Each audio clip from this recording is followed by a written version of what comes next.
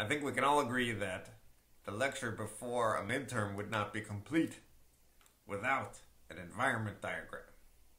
So let's look at non-local assignment and what happens in environments when we have non-local statements.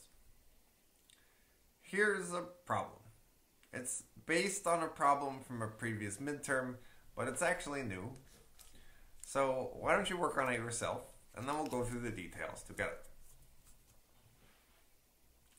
Okay, so what's going to happen here is we'll define a function called oski. So we'll bind the name oski to the function that we created, which has the intrinsic name oski and the formal parameter bear. Now remember, none of this gets executed until we call the function, which we do here. We call oski on abs. So abs is a function that's built in, computes the absolute value of a number. Okay, so we call oski, which means we introduce a new frame. Let's give it a reference number F1, a label. Its parent is the global frame because that's where oski was defined. So we just inherit the global frame from there, so we don't have any parent annotation. But we do bind the formal parameter bear to the argument that was passed in, which is the absolute value function. Built-in functions we write without describing their formal parameters because when we call a built-in function, we don't create a frame. So it doesn't really matter what its formal parameters are called or how it's implemented. Okay, what's next? Well, we're executing the body of the oski function which defines another function cal. So cal has a parent f1 because that's the frame in which it was defined. So we're in this current frame, and we just defined a function. So we have to write it down its parent, and its parent is the current frame. And cal is a function with this body, which we don't execute yet. And now we're down to this return statement, where we call cal on the argument 2. So this is the cal function, we look it up. There it is. That's what we're going to call. So let's just remember that this frame was created because we called cal2 right here, which means whatever is the return value of this frame will be the value of this expression, which is what will be returned from oski. Okay, so we're calling cal.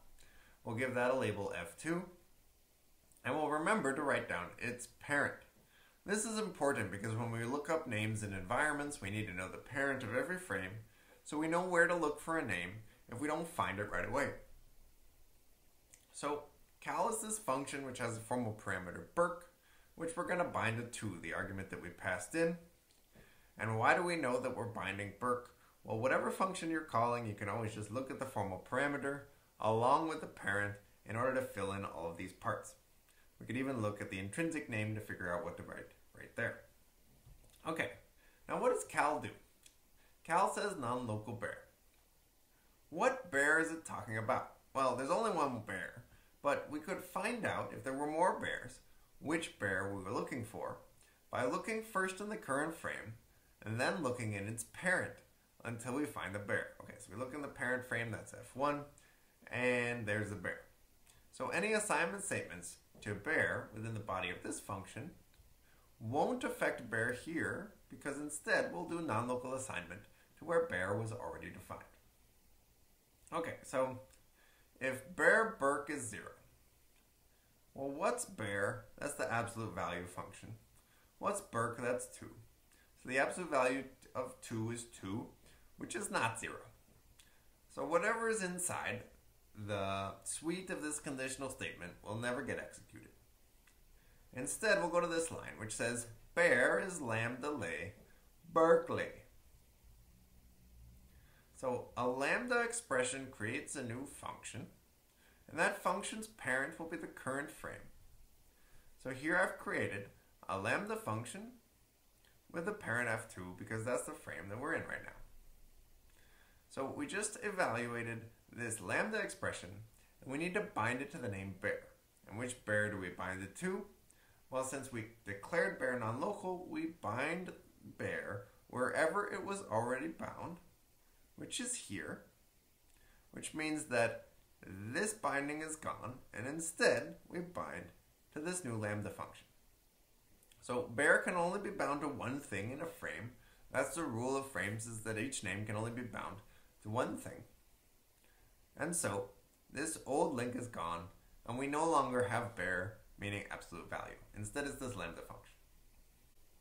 Now we evaluate this return statement, which means we need to evaluate that whole expression, which will evaluate to a tuple. And the elements of that tuple will be Burke, which is just 2. And then whatever we get by evaluating Cal Burke, which means that we need to look up its operand subexpression and operator subexpression. That gives us Cal, the function, and Burke, number 2. And then this is a call expression, which means we're going to create a new frame for the cal function. This is frame number three. It will turn out that we don't actually need this label, but it's okay if you write it in there anyway. And the cal function has one formal parameter, Burke, and a parent f1. Every time we call the same function, we'll have the same parent, even though we have a different frame. Okay, so now we gotta go back to the top. But it's really useful to remember why we called this thing in the first place because that's where we're gonna have to go back to. Okay, so um, so we're calling cal, which means we bind the formal parameter to the argument, and then we execute this whole body. Non-local bear again. Which bear? This bear. If bear Burke is zero. Now what does it mean to bear Burke this time around? This time around, bear is bound to this lambda function. So in order to evaluate bear Burke, we're going to have to introduce another frame, which will allow us to call the lambda function whose parent is f2, because that's what it says right here. Now the lambda function has a formal parameter lay, also written there, which will be bound to 2. Why 2? Because that's what Burke is bound to, and so that's what we're calling. So um, what does this lambda function do? Well, here's its body. It, takes Burke minus Lee. What's Lee? It's 2. And what's Burke? Well, it's not here, so we look at the parent. The parent is F2, and there's Burke 2. So Burke is 2. So the result is 2 minus 2 is 0. Return value is 0, which means that we evaluated this call expression, its value was 0, and that's 0, which means we're actually going to return Burke plus 1, Burke minus 1 in this frame. So we create a tuple where the values are 3 and 1, which is Burke plus 1 and Burke minus 1. And now we've returned from this frame. And where does this value go? Well, the reason we created this frame was in order to evaluate this call expression. And this call expression gives us the second element in another tuple that starts with 2. So we have a tuple that starts with 2, that was Burke, and we went through all this work in order to evaluate its second element, and we got this tuple.